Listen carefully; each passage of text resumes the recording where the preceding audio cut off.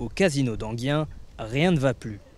Fermé depuis le 16 octobre dernier sur décision du gouvernement, le premier casino de France en matière de chiffre d'affaires a vu son activité baisser de 40% en 2020. Une situation jugée intenable par le groupe Barrière qui a annoncé plusieurs plans sociaux au sein de ses établissements. Une soixantaine d'emplois sont menacés parmi les hôtels et le casino d'Anguien. On a tout fait pour euh, ne pas en arriver là.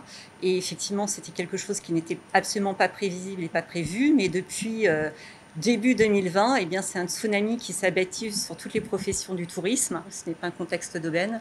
Et je pense qu'aujourd'hui, il faut que tout le monde soit lucide sur la situation dans laquelle est notre groupe, qui est extrêmement difficile et fragile.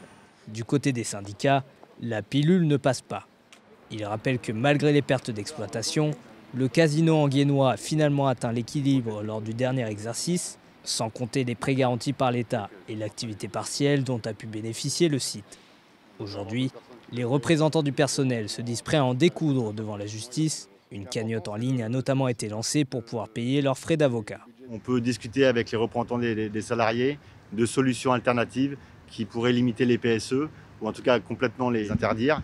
Euh, et, trouver des solutions alternatives euh, par le biais des formations ou par le biais de, de, fonctionnements divers et variés. Aujourd'hui, dans le PSE qui nous a proposé, il n'y a aucun de, plan de départ volontaire, il n'y a aucun euh, projet de départ en retraite anticipé, il n'y a aucun projet de rupture conventionnelle collective. La direction souhaite licencier et licencier à bas coût. L'établissement étant co-géré par la ville, les syndicats ont demandé à la mairie de se positionner. L'édile républicain, Philippe Sueur, s'est engagé à les recevoir début février.